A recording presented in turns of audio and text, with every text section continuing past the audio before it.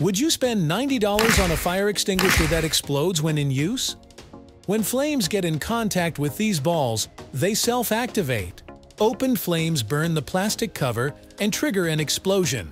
A loud bang alerts the user and disperses around 1 kilogram of fire-suppressing powder. That, of course, won't put out an entire burning room. It's more of a preventative measure to make sure no small fires spread. In electrical closets, for example, next to kitchen stoves, or even with your car engine. At least that way you won't have to read any complicated labels on fire extinguishers.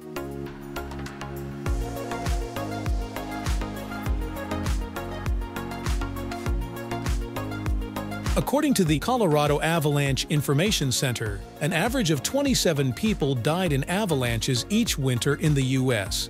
So what makes this curious backpack a good way to help stay safe during such an unpredictable danger? It includes a 160-liter airbag that inflates in just 3 seconds. It works the same way as the nuts in your cereal. When shaking the cereal box, you'd find that the bigger ingredients always come up on top. That is because of their larger volume, which is exactly what the inflated bag provides to the user. Prices range above $1,000. The machine strapped to this person's chest is keeping them alive, literally.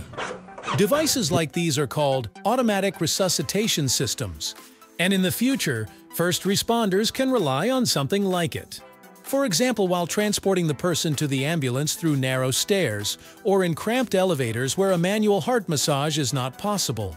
Furthermore, using one of these has even shown improved outcomes in numerous clinical trials. But it might be hard to get your hands on one of these devices. Each costs several thousand dollars.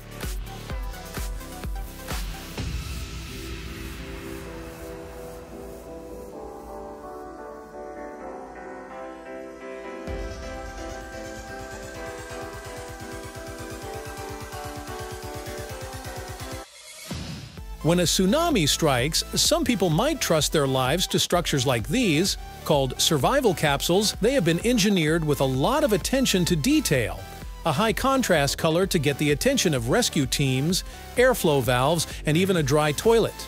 The basis is a frame made of aluminium tubes, and an outer shell is fixed on top of it.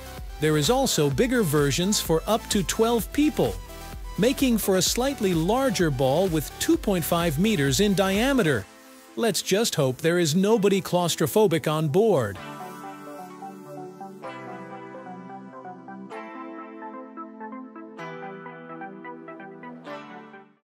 With a speed of 1 meter per second, the SkySaver Rescue Backpack is one proposed solution for evacuating high-rise buildings.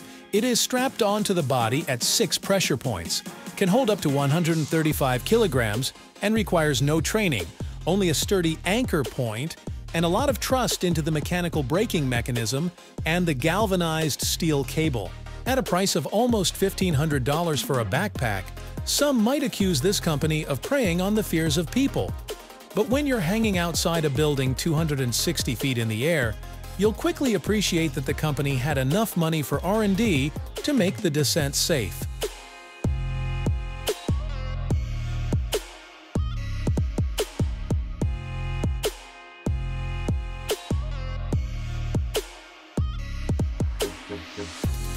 No, the thing on your screen is not a delicious pack of ramen noodles. It's something much darker.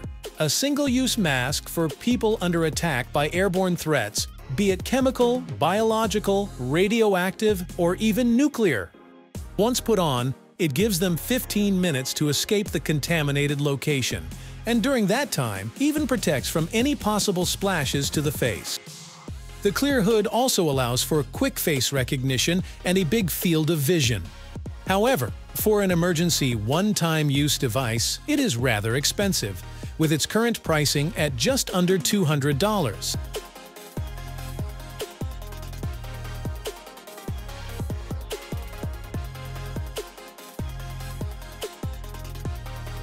Don't forget to subscribe to Unstoppable Gadgets and if you want to check out some more life-saving gadgets and tools, click on the screen for the next video.